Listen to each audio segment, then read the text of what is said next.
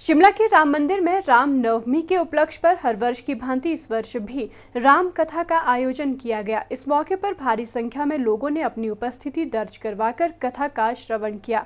वहीं इस दौरान मंदिर में भंडारे का भी आयोजन किया गया।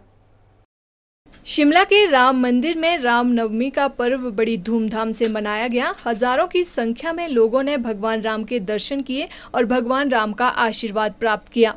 इस मौके पर रामचरित मानस अखंड पाठ का भी आयोजन किया गया, जिसका समापन रामनवमी उत्सव के अंतिम दिन 13 अप्रैल, शनिवार सुबह 11 बजे हुआ।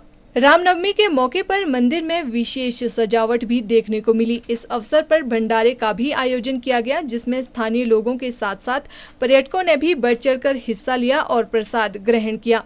शिमला सूद सभा के अध्यक्ष संजय सूद ने कहा कि हर वर्ष की भांति इस वर्ष भी राम मंदिर में रामनवमी पर्व बड़ी धूमधाम से मनाया गया। उन्होंने कहा कि भगवान राम के जन्म दिवस के उपलक्ष्य पर मंदिर में पूजा पाठ के साथ साथ हवन का भी आयोजन किया गया। तो आपके माध्यम से सभी शहरवासियों को जो है इस रामनवमी के शुभ अवसर पर बहुत बहुत बधाई।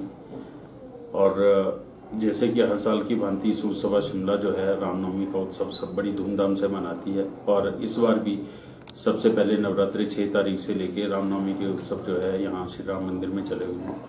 और उसका आज अंतिम चरण में आज सुबह ग्यारह बजे मंदिर में कथा प्रवचन शुरू हुए और ठीक बारह बजे महाराज प्रकाश चैतन्य जी ने जो है राम जन्म करवाया और उसके बाद भक्तजनों ने जो है राम जन्म का उत्सव बड़े हर्षोल्लास से बुलाया, मनाया।